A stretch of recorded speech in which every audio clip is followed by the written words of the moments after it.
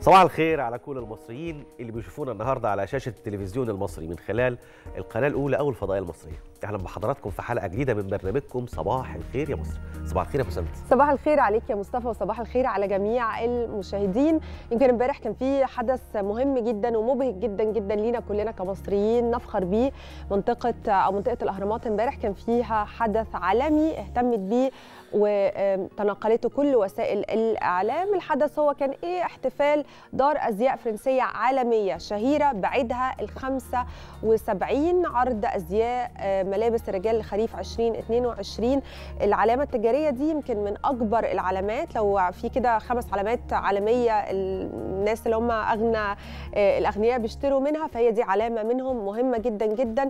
صناعة الأزياء عامة من الصناعات المهمة جدا العالم كله بيهتم بيها بتحقق مليارات الدولارات للعاملين فيها. طبعا كان في عرض أزياء أسطوري أمام أهرامات الجيزة اللي تابع امبارح. شاف قد إيه الأهرامات كان شكلها حلو جدا جدا جدا. كان في حضور مهمين قوي من مشاهير العالم وأهم نجوم الموضة والأزياء. شفنا لويس هامilton من فورمولا 1 شفنا سيهان المغني الكوري شفنا ستيفانو بالاتي ال designer شفنا كمان يعني بيقولوا عليهم يعني super models أو يعني مش عارفة بيسموها إيه يعني super models يعني النجوم العالميين. النجوم كمان موجودين صحفيين واعلاميين من 80 مجلة وقناة تلفزيونية متخصصة في الأزياء والموضة. الحدث ده مش قادرة أقول لحضراتكم قد إيه كان مهم وقد إيه العالم كله فعلا اهتم بيه.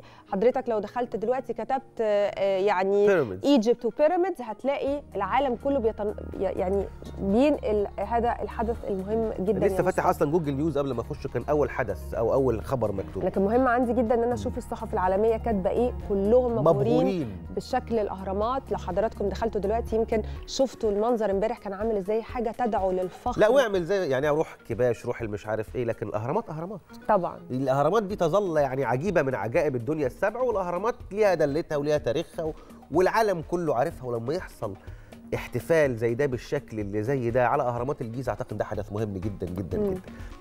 ربما بسنت قالت الخبر. التحليل إيه بقى؟ إن الحدث ده ليه دلالة تاريخية ودلالة معاصره يعني ليه علاقة بحاجة حصلت في الماضي وليه علاقة أيضا بحاجة بتحصل في وقتنا ده.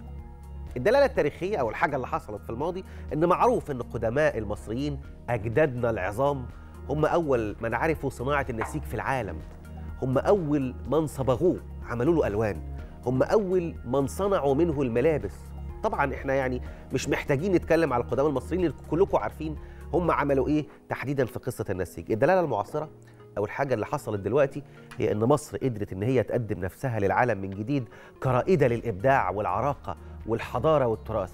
أعتقد إن ده كان السبب الرئيسي اللي دفع دار الأزياء الفرنسية اللي بتعد علامة شهيرة جدا في عالم الموضة إن هي تعمل هذا الاحتفال العظيم تحت سفح الأهرامات وإن العالم كله يتابعه وإن العالم كله يتكلم عنه بمنتهى الانبهار وبمنتهى الحماس ويشوف هذا الحدث التاريخي بيحصل على أرض مصر. زي ما أنت قلت هو ليه دلالات كتيرة جدا جدا لو هنتكلم من الدلالات أيضا م. إحنا مع... معلش ما فيش دار ازياء عالمية هتيجي آه يعني تعمل ده لو ما فيش أمن وأمان طب. لو ما فيش مكان مميز تقدر إن هي تعمل فيه العرض بتاعها لأن هم كل سنة دايما يجيبوا حاجة مختلفة هم حابين آه يبقى في آه نوع مختلف. من أنواع الإبهار م. لدى الناس اللي هيشوفوا اللي آه يعني زي ما بيقولوا عليه الأزياء بتاعة الخريف ده لأن هم عايزين أكيد يبهروا الناس اللي هتشتري. فالنهاردة أنت لو ما عندكش أمن وأمان مش هيجوا. لو ما فيش عامل الإبهار مش هي... مش هيبقوا موجودين. على فكرة يمكن دي مش أول مرة يتم فيها عمل حدث كبير زي ده في المناطق آه الأثرية في مصر. لو نفتكر مع حضراتكم في أكتوبر اللي فات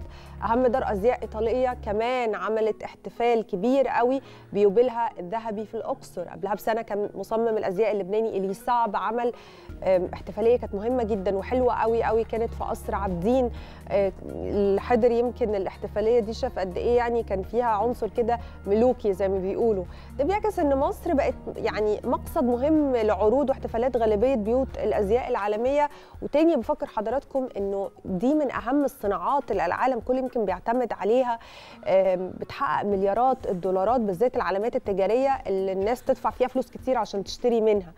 فالنهارده إن نقدر نقول إن علامة زي دي جت مصر وعملت احتفالية كبيرة زي دي دي حاجة مهمة جدا جدا تدعو لفخر كل مصري يا مصطفى. لو حللنا الكلام ده يعني يعني على مستوى السياسة الداخلية أعتقد إن ده كله نتاج طبيعي لحالة الإبهار اللي حصلت في ملف الآثار في الفترة الأخيرة. خلينا نعدد اللي حصل إيه. احتفال موكب المومياوات اللي خد شهرة عالمية. احتفال موكب المومياوات نقلته أغلب وكالات الأنباء على الهواء إحنا شفنا عظمة كانت بتحصل. من بعده احتفال طريق الكباش في الأقصر اللي ربما أيضا أضاف عظمة على العظمة الأولانية. وكل اللي إحنا بنقوله ده غير الاهتمام الكبير وغير المفاجأة الكبيرة جدا إن العالم كله بينتظرها بشغف شديد جدا. وهو افتتاح المتحف المصري الكبير اللي هيبقى أكبر متحف مفتوح في العالم. هيبقى الفيو بتاعه زجاجي تماما هذا المتحف هتشوف من قدامه الأهرامات. تقدر أنت في حضن الحضارة المصرية العريقة في حضن أهم أثر من آثار الدولة القديمة في مصر القديمة اللي هو أهرامات الجيزة.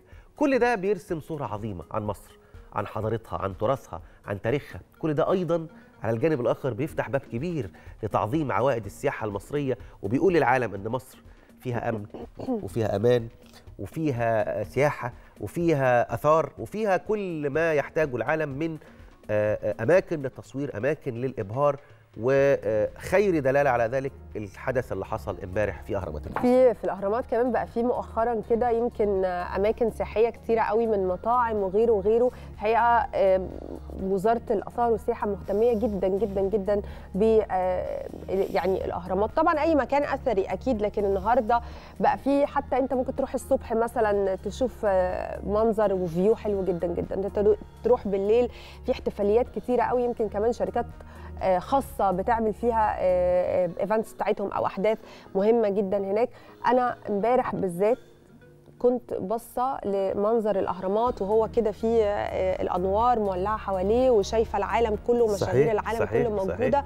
ببص ببهار وبقول يعني فعلا الحمد لله. أنا عايزك بقى تحطي المنظر اللي أنت شفتيه ده ونرجع شوية كده ونحط في الذاكرة الم... الأهرامات كانت عاملة إزاي؟ كانت إزاي السلوكيات المصريين كانت فيها وحشة وكان في استقبال وحش وكان وكان؟ النهارده لما أنت تحط الصورة الجميلة دي هتعرف قد إيه في جهد بذل من الدولة المصرية لتنمية هذه المنطقة ولإعادة الروح فيها ولصبغها بالصبغة العالمية بعد ما كانت يا بسنت مش صبغة محلية كان في سلوكيات كتير جدا جدا مخليها صورتنا وحشة وفي أهم مكان في العالم النهارده بنتكلم في مكان أهم دار أزياء بتيجي تعرض فيه فشوف التطور اللي حصل هون في الأهرامات ربما هيكون عامل إزاي.